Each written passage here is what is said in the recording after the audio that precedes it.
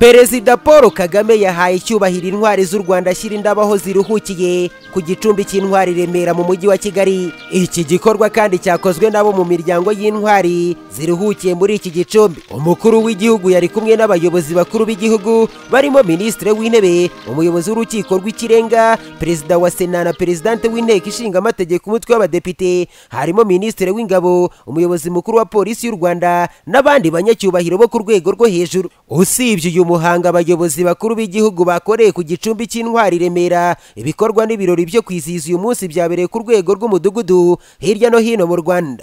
Hamwe mu ho twageze ni mu murenge wa gahanga mu karere ka kicukiro. Abaturage bafata uyu munsi nk'ifumbo yo gusigasira ibyagezweho no gutera indi ntambwe igana imbere. Ubutwari bivuga ko umuntu ari intwari ugabo kuri byose umuntu kujya inama n'abandi kubabanye n'abandi neza ni bwo butwari. Uyu munsi w'intwari bitwibutsa aho u rwanda rwavuye n'aho rugeze. Twari mu bihe bikomeye ariko uyu munsi kuba uriho nuko hari ibikorwa by'indashyikirwa birimo bikorwa ugasanga buri muturage amenya ko agomba gukora umuhigo wo kujya yitwara neza akamenya ko azagaragara mu gihe runaka nawe agakora kurwanira kugira ngo nawe azabe intwari. Abayobozi b'inzego z'ibanze bafashe uyu mwanya nk'umwanya wo kongera kwibutsa no kuganira n'abaturage bagaragaza ko ubutwari bugaragarira mu bikorwa. Jean claude maniraguha ni umunyamabanga nshingwabikorwa w'agateganyo w'umurenge wa gahanga muri kicukiro. Tuvuze ubutwari ntabwo dusiga kwicungira umutekano ni na yo mpamvu mwabonye abaturage bishyize hamwe bakaba bambitse irondo ryabo ry'umwuga. Ni na yo mpamvu mwabonye nk'aha ngaha turi bishyize hamwe bakagera ku gikorwa nk'iki ngiki cyo kugira ngo tubashe kubona amazi.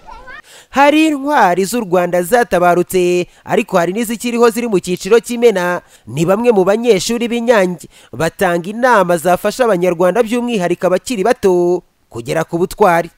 Ubutumwa bwahabwa abana bari mu ishuri kuri iki gihe ni ugukurana urukundo. Kumva ko umuntu ari umuntu kandi agomba kumuha agaciro kuko icyo ngicyo ari cyo cyaturanze.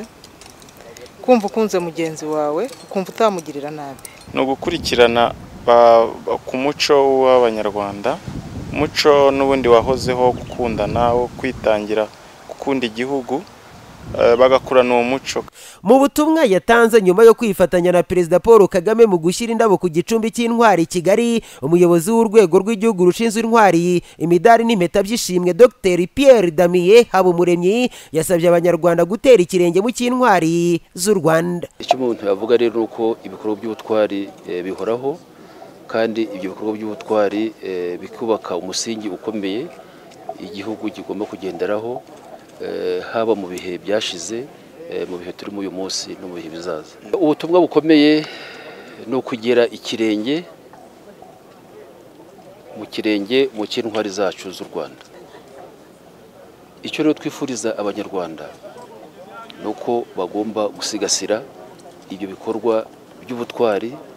Intwari z'u rwanda zatumye tugeraho tukabifata neza tukabisigasira. Kandi uwo muco w'ubutwari tukawiyubakamo twese nk'abanyarwanda kugira ngo turusheho kubaka igihugu cyiza igihugu kibereye abanyarwanda uyu munsi n'ejo hazaza.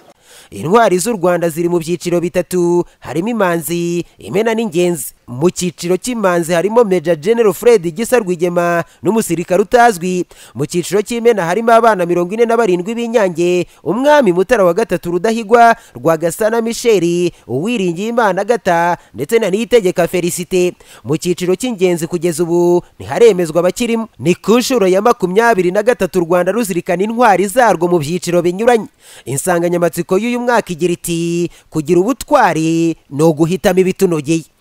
Pizza Mio Bano Flash TV